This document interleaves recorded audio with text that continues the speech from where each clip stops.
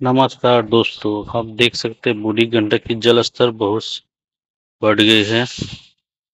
ये हमारे हाजीपुर और छपरा के बीच के ब्रिज के नीचे से काफ़ी ज़्यादा पानी का स्पीड है।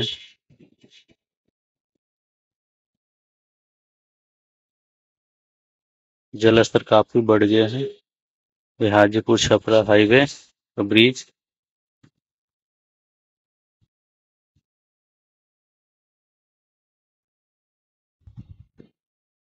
वीडियो अच्छा लगे तो लाइक, शेयर, सब्सक्राइब कर दें और कमेंट करके बताएँ वीडियो कैसा लगे। धन्यवाद।